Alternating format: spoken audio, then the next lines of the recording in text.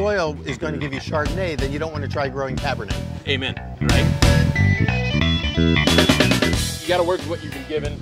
Work with what is, is kind of pronounced on, on on the property.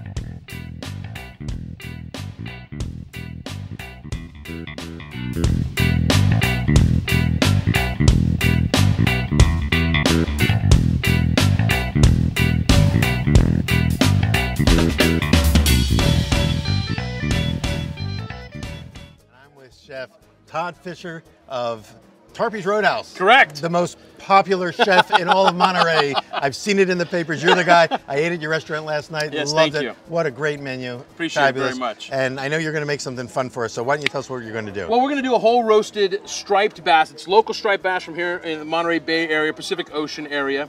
Uh, we're going to do it in the Vesuvio oven, which is this bad boy behind us. This thing is gorgeous.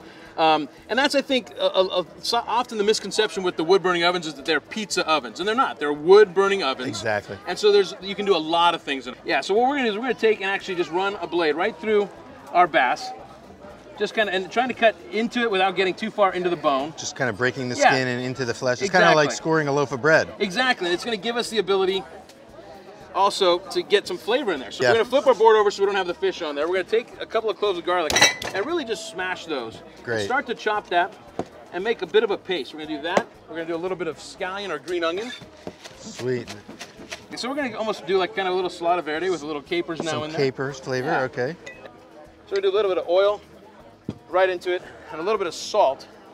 Wow. That'll help create kind of our Some paste. Serious salt, yeah.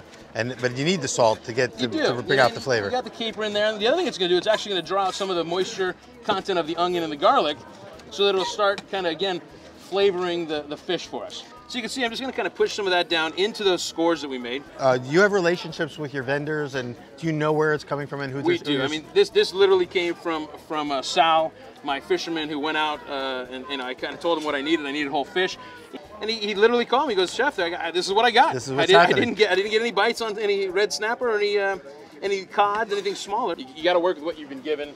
Work with what is, is kind of pronounced on on on the on the property. and what nature's And so I'm just going to take one scallion to throw right in the center, just so we're kind of perfuming that cal- that cavity.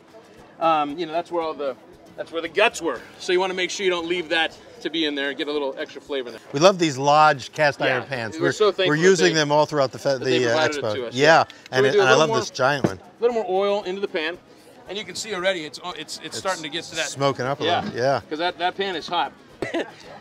and set that in there, nice, and again maybe even go this way so we get a little even better. yeah. And then we're going to start that in the oven. By the way, this fish, I'm looking at the eyes of this fish, pretty clear-eyed fish. exactly. This must have been just caught recently. Just huh? came in uh, this morning. I actually waited before I came down for the fish to come in. So we're going to slide that. And I apologize for my head being there. And we're really going to slide it all the way to the back, right where we've got Where- the fire Where the built. heat is, yeah. So I just before we got started, I shot the temperature of the oven, and it was about 950 off the wall. Wow. And about 680 off of the, On the deck. deck.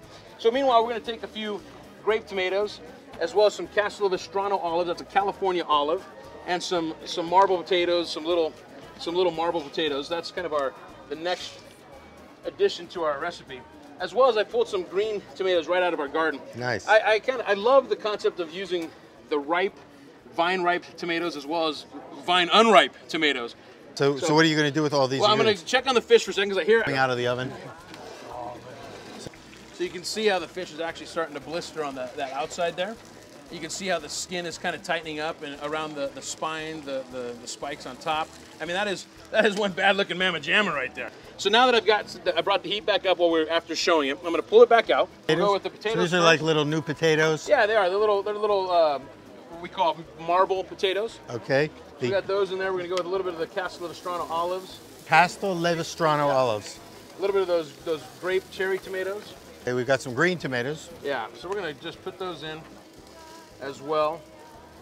And what's nice about this, sometimes when I use the green tomatoes, I'll put them in after the fact to keep their texture. In this particular case, I think we're gonna get, they're gonna burst and, and kind of be a nice, again, they'll, they'll kind of, they'll flavor, they'll add a little moisture, it'll be a magnificent treat. And they'll throw a totally contrasting flavor to the other ripe tomatoes. Exactly. So we're going with a little bit of the capers More capers. because no one ever said there was enough olive oil. Right. Ever. A little more olive oil. Beautiful. And now we'll put that back in. Let it let it turn its back on us. And slide it right back in to the, to the base of that fire. What else would you serve with this meal?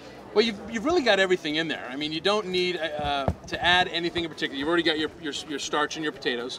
You've got your vegetable, if you will, Right. in the, the tomato. We talked about doing some roasted artichokes along with it, which would have been nice. Yeah. Again, a local ingredient for us. The other thing that would be nice, this is a nice bowl of greens, a little bit of lemon and olive oil. Yeah. Something simple, just because you've got so much flavor in that pan. So, So- we're just about ready to pull. Wow. We'll give it a, we'll give it another half of you know a couple of minutes. But you can hear all those ingredients. You can hear the tomatoes literally sizzling on the pan. The capers are kind of starting to burst with flavor. So we're pretty close. So this looks magnificent. You can see you can see how the the tomatoes have, have kind of blistered in there. The Yeah. potatoes are toasted and, and, and got a nice roasty flavor to them. The fish is absolutely magnificent looking. Do you have to? Do you need to leave it there for any kind of carryover cooking, or do you wanna- like to deal probably, with it? probably want to give it a, a couple of minutes. Also, just just uh, the pan is so incredibly hot right now. Now it's it's still clinging to the bones, just like when you smoke ribs or, or anything like that. It's really the, the the muscle's tight because it's in a hot oven. Um, and so it's kind of clinging to the bones. As it rests, it'll be ready to, it'll kind of relax and fall off, Fall the, off off the- the, bones. uh-huh. Yeah. The only thing we really didn't do there is, is, is pepper the vegetables. And so I'm going to go with a little bit of cracked pepper over it now. And doing it at on- the on- end on the instead of vegetables. early, yeah. Yeah, and so it doesn't become the overwhelming flavor. On this back side here, you can actually see, because of the scores we put into it, you can actually see where the fish is cooked through. So again, now we're just going to kind of take the, the knife right along the, the, the bone there. Following the spine. Yep, almost like you would when you're filleting it. Uh huh.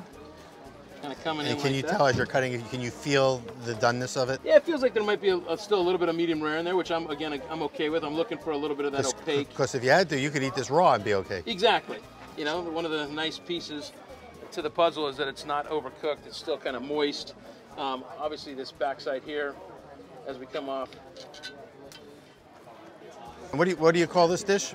this is just a the uh, whole roasted striped bass with the uh, grape tomatoes, new potatoes, and Castellano olives. What we'll do is uh, we'll let we'll let Chef Todd do some uh, you pull some portions out for people to try, Yep. and um, and then we're going to let you have it. Chef Todd Fisher from the from Tarpy's Roadhouse in Monterey, California, the most popular chef in Monterey. I read that. That's true. I didn't make that up. Thanks, Chef. Thank you.